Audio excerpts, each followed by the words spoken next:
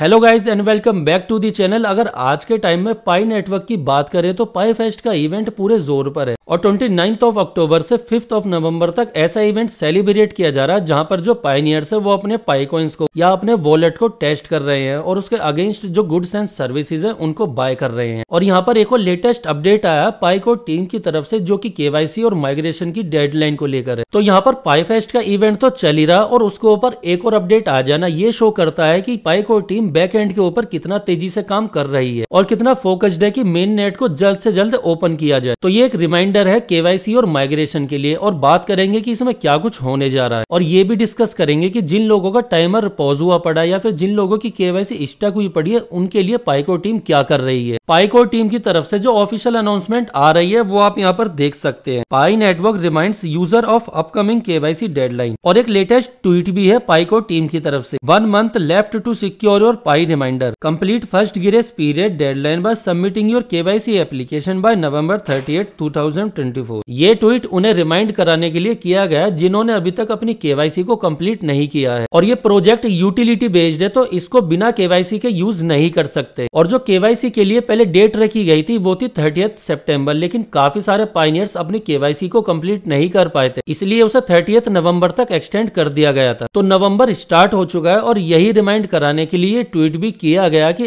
अब आपके पास बस थर्टी नवंबर तक का टाइम है अपनी केवाईसी को कंप्लीट कराने के लिए और बिना केवाईसी के आप अपने पाई कॉइन को यूज नहीं कर पाओगे और इसमें एक और बात मेंशन है ऐसे लोग जिनकी केवाईसी स्टक है या फिर सिस्टम एरर की वजह से उनकी केवाईसी कंप्लीट नहीं हो पा रही है और उनके क्रेडेंशियल्स ठीक है तो उनको टेंशन लेने की जरूरत नहीं है उनकी केवाईसी ऑटो हो जाएगी या फिर उनकी केवाईसी को बैक एंड पर डेवलपर कभी भी किसी भी डेट में ठीक कर देंगे और फिर वो यूजर्स थर्टी नवंबर से पहले अपनी केवाईसी को सबमिट कर सकेंगे और इसमें आगे लिखा है with the November thirtieth KYC deadline approaching Pi network encourages users to complete the verification process इस ट्वीट में उन लोगों को एनकरेज करने के लिए कहा गया जिन्होंने अभी तक केवाईसी के लिए अप्लाई ही नहीं किया है क्योंकि बहुत से यूजर्स को ये लगता है कि वो बिना केवाईसी के ही कोइन को यूज कर पाएंगे और जिनकी केवाईसी स्टक हुई पड़ी है उनकी केवाईसी ऑटो हो जाएगी क्योंकि वो बैक एंड पर डेवलपर के एंड पर है इसके अलावा एक और चीज है जो लोग बोल रहे हैं कि उनका मोबाइल नंबर वेरीफाई नहीं हो पा रहा है तो आप एक काम कर सकते हो आप दूसरा मोबाइल नंबर डालकर वहां पर अप्लाई करके देख सकते हो और अगर इससे भी आपकी प्रॉब्लम सोल्व नहीं होते तो आप एक काम कर सकते हो फिर आप रीजन को चेंज करके देख सकते हो रीजन को चेंज करने के बाद जो भी आपकी प्रॉब्लम है वो सारी की सारी यहाँ पर सोल्व हो जाएंगी ये एक छोटा सा अपडेट था एक रिमाइंडर था पाई फेस्ट के